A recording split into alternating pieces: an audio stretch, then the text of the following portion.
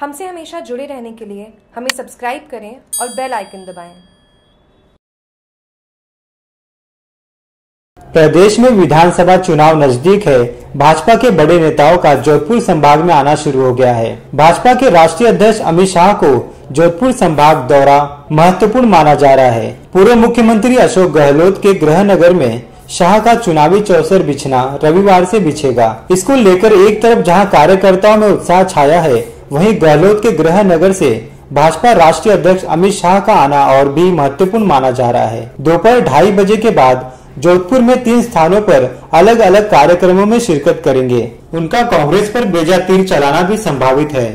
कार्यकर्ता तैयारी पूरी कर चुके हैं। समारोह स्थल और इसके आसपास के एरिया में पुलिस का घेरा बढ़ा दिया गया है। खुद पुलिस आयुक्त आलोक वशिष्ठ समारोह स्थल का जायजा ले चुके हैं। काफ़ी संख्या में पुलिस बल तैनात रहेगा। शाह के साथ अन्य कई बड़े नेताओं का जमघट भी रविवार को रहेगा। भाजपा के मीडिया प्रमुख अचल सिंह मेड़तिया ने बताया कि भाजपा के राष्ट्रीय अमित शाह मारवाड़ में भव्य स्वागत की तैयारियाँ जोरों पर है।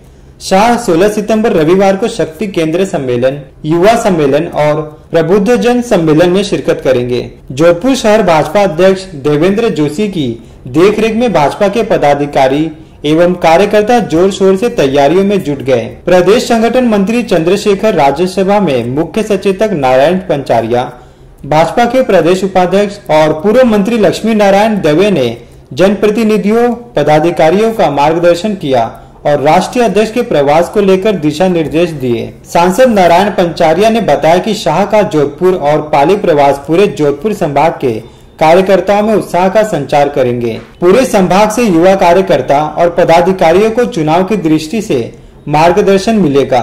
राष्ट्रीय अमित शाह के प्रवास के तहत जोधपुर में युवा सम्मेलन एवं शक्ति केंद्र से ऊपर के कार्यकर्ताओं का सम्मेलन आयोजित किया जाएगा। यह दोनों सम्मेलन जोधपुर के पॉलिटेक्निक कॉलेज परिसर में होंगे।